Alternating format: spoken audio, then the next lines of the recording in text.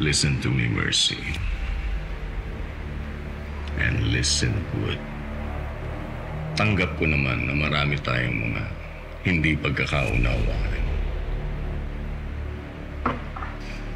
But still, pamilya pa rin tayo. Mahal na mahal ko kayo ng ako ko. Hinding-hindi ko ahayaan na may masamang mangyari sa inyo.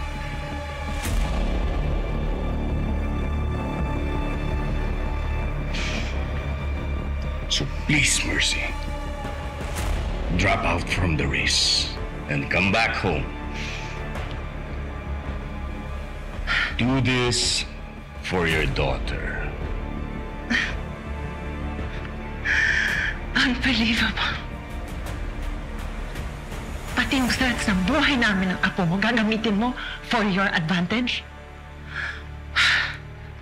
Iba ka rin, Dad.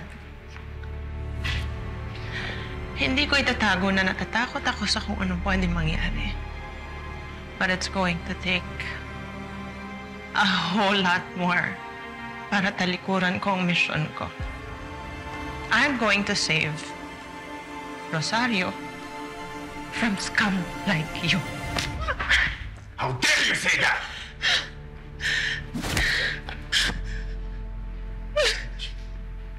With all due respect, tama na po. Pero walang mariresolba ang pananakit natin. Hayaan mo siya. Hindi niya matanggap na tama ako at ayaw niya marinig yon.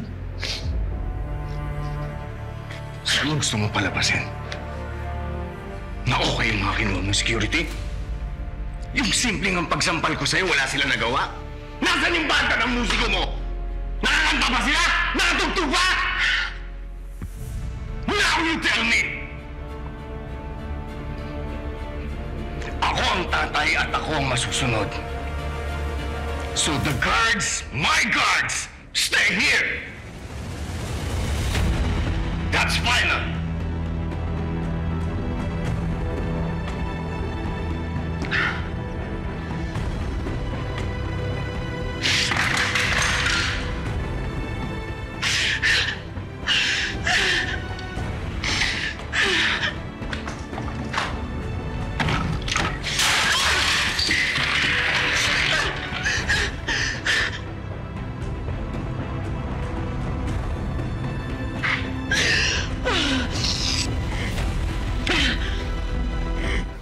Jay Caparas, lumuhod ka sa lupa.